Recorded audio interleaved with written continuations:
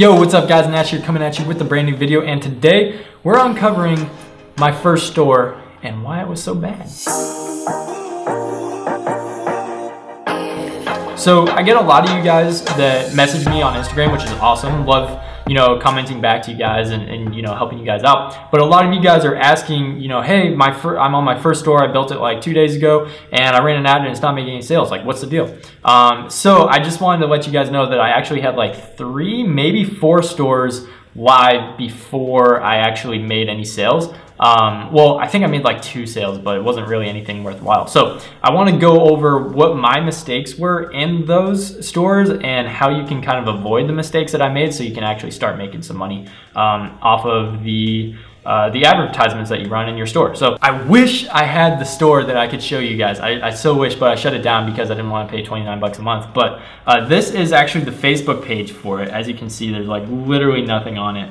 Um, but I had some super dope designs. Okay, so um, I had like this shoot film. It was a uh, it was called Set Swag. It was for filmmakers. Um, it was kind of like apparel for filmmakers, so it was print on demand stuff. Um, but I had these like really cool designs, like shoot film. Um, I actually have some of them here, like this one or uh, this one. This is my favorite. We accept major uh, credit cards, Discover, Visa, Apple Pay, but we don't expect it or we don't accept exposure. We'll at there, my exposure and worth shit. So this is, uh, you know, this sort of vibes with filmmakers because I don't know if any of you guys can relate, but a lot of times people ask you to uh, do work for free for exposure or for credit, um, which a lot of people don't like doing. So, uh, you know, this kind of vibes with it. And then uh, you know, shot list, which uh, if you don't know what a shot list is, basically it's like the, the camera angles that you want. Um, but this was a, sort of a funny take on it. So anyway, so those were shirts that I thought were, were like sick. Like, dude, I would wear those. But um,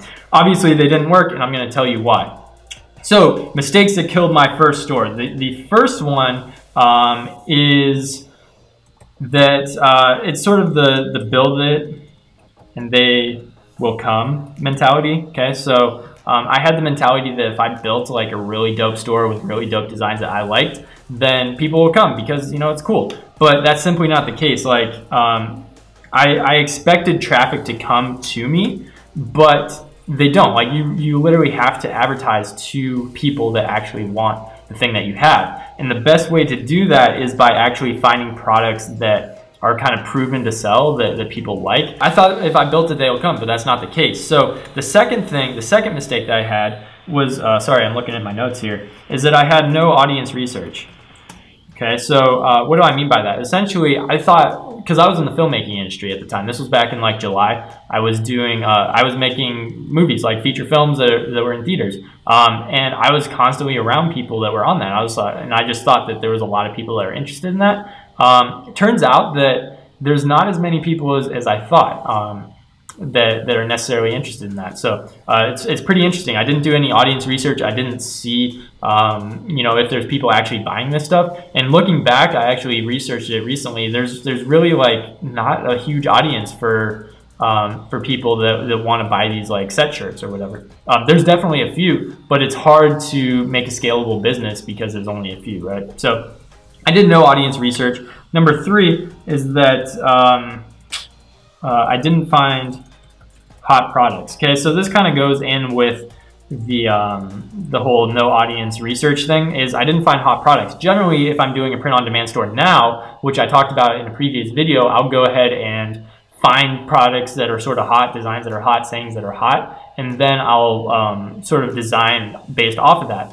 But what I was doing is making my own designs that I thought were funny, that were cool, whatever. Um, but they had no track record of being able to be sold. And because I didn't know what I was doing at the time, it's very difficult to sell a product like that. So um, I didn't find, there we go, didn't find hot, hot products. And if you're doing drop shipping, obviously this would be like finding hot products that are currently selling right now on AliExpress, which I can show you how to do uh, real quick. So I'll just go to AliExpress so let's take, for example, this rose. I have no idea why this just popped up because I don't remember ever looking at it. But um, so it has 1,029 orders. Seems like a lot, right?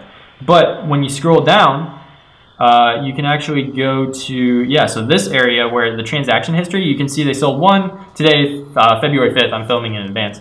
Um, you know, one, two, three, whatever on February 2nd, a few on January 1st. Like, you know, it's not really selling right now. So yeah, it has a lot of orders, but it's not selling right now. So you want to find products that I would say at least have an entire page filled with one day. Um, ideally, maybe like two to three or more, uh, because that means it's selling right now. So if you haven't found a hot product, definitely keep looking. Don't try to keep marketing the same thing that's not working because you're just going to end up wasting money and uh, it's not a good situation. So uh, definitely go ahead and find some hot products. Uh, number four is I didn't know uh, Facebook marketing. Okay, because I was marketing this all on Facebook and literally had no idea what I was doing. Um, so I I watched a few YouTube videos and I was like, sweet, this this should probably be easy. Um, so I, I did this targeting and I think the targeting ended up being like 15,000 people in it. So it was like super small, which goes back to the audience research uh, part. Um, but yeah, so I didn't know the marketing, so I was, I was marketing to these 15,000 people. Nothing was hitting. I ended up spending like $200 because, again, I didn't know what I was doing. Um, but I was like determined to make it work. I was like, yeah, I just need to spend more money and eventually it'll hit. Uh, that's not the case. Uh, if it doesn't work, it doesn't work and cut it. So uh, yeah, if you don't know Facebook marketing, definitely start out with Instagram if you can. Not every niche, like the niche that I was in, does, didn't have any Instagram influencers, so I just switched it up, did something different. But um, yeah, if you uh, if you don't know Facebook marketing, I would suggest not starting with that, especially if you don't have much of a budget because it's very hard to make back your ROI um, fast on on Facebook. Eventually, yeah, you can and, and much more, but in, initially it's very difficult to make back your ROI. So um, yeah, so that's why.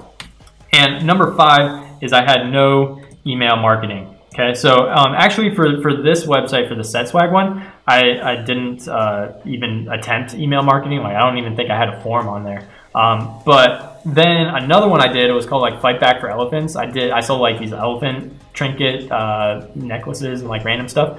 But um, yeah, so I had some email marketing on there and I was sending traffic and people were like signing up to the email list. I had like 120, 150 people on the email list, but I literally never did anything with it. And it's so embarrassing because like I had that many people on the list, but I literally did nothing with them. I didn't send any follow-up emails, like nothing. So if I were to do like email marketing again today, um, I would do like what I showed you in, in, a few videos back with the email marketing series is I would send them a, a follow-up series. Okay. If you don't have a follow-up series in place, you're leaving so much money on the table. And I didn't realize that uh, when I when I first started that store. So find that hot product and once you do, make sure you get that email sequence in place because it literally accounts for, at least in my case, it accounts for about 30% of my business. So if you don't have that, then it's just, it just makes it very difficult uh, to go ahead and actually start making some sales. So um, yeah, so basically make sure that uh, you do your audience research, find a hot product, know uh, what your marketing is and know it well. Um, if you have to buy a course, great. If you have to look for hours on YouTube, fine, that's great. Whatever you have to do to learn how to do this stuff, go ahead and learn how to do it before you get started so you don't waste money. And then lastly, have that email follow-up series and actually build it out um, to, to be good. Um, actually, guys, I, I, have one more that I thought about here, and that's time management.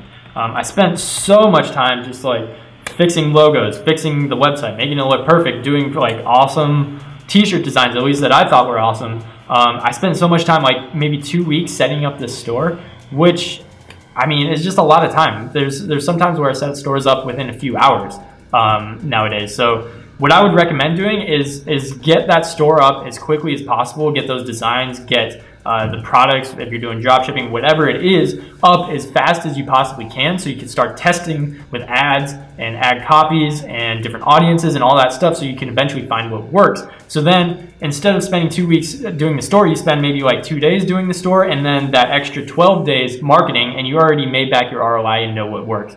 Um, so it's just about speed of Im implementation. Make sure you you figure out what's an important necessary factor and what's an unnecessary but like sort of important, but you can put it on the back burner type of factor for your website and kind of list those out. So, so guys, hopefully you learned a lot from my mistakes from my first stores. And there are things that I learned from but hopefully you can learn from them without having to spend the money. Uh, at least that's the point of this video. So if you liked it go ahead and hit that subscribe button down below as well as the notification bell to be notified as soon as we drop the next video. Also if you like the video go ahead and leave me a like. Smash that like button, why don't you? And then, uh, you know, leave me a comment of what you want to see in future videos, and we'll be sure to make it. Also, we're almost at 2K. Actually, we might be at 2K right now. I don't know. I'm filming this in advance. But uh, thank you guys so much for everything that you've done. Thank you for supporting the channel. Really do appreciate you guys so much. So uh, thank you. And I will see you guys in the next video. I need you in the morning. Yeah. I need you in the midnight.